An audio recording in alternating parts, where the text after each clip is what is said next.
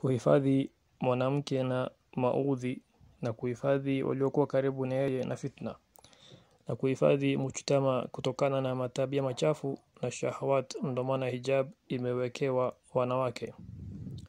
Allah ameifaradhisha kwa msichana wa Kiislamu na ameamrishwa avae hijab kwa kila kijana ajnabi isipokuwa mahram wake. Hijab ya msichana ni ile ambaye imesitiri mwili yake yote na imetimiza sharti zifuatazo. Ya kwanza iwe mzito usionyeshe ile kitu iko chini yake.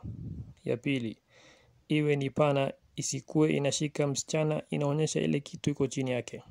Ya tatu isikue iko na marashi au manukato yoyote. Ya nne isifanane na nguo ya mwanaume. Ya tano isikue inafanana na nguo ya makafiri. Ya sita isikuwe ni nguo ya shuhra ya kujionyesha.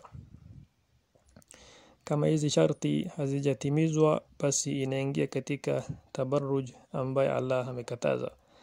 Allah anasema waqarna fi buyutikunna wala tabarrajna tabarruj aljahiliyati alula.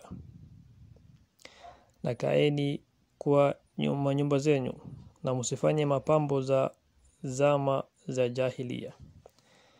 msichana wa Kiislamu anafuata amri ya Allah na amri ya mtume sallallahu alaihi wasallam ili aweze kupata radhi ya Allah na janna na ili aweze kuepukana na onyo kali ambaye mtume sallallahu alaihi wasallam alitoa amesema mtume sallallahu alaihi wasallam vikundi viwili vya watu watakuwa watu wa motoni wa kwanza watu ambao watakuwa na jeledi kama vile mkia ngombe wanachapa nao watu.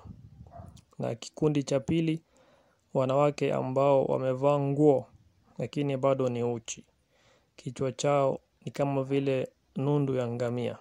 Hawataingia janna na hawatapata harufu ya janna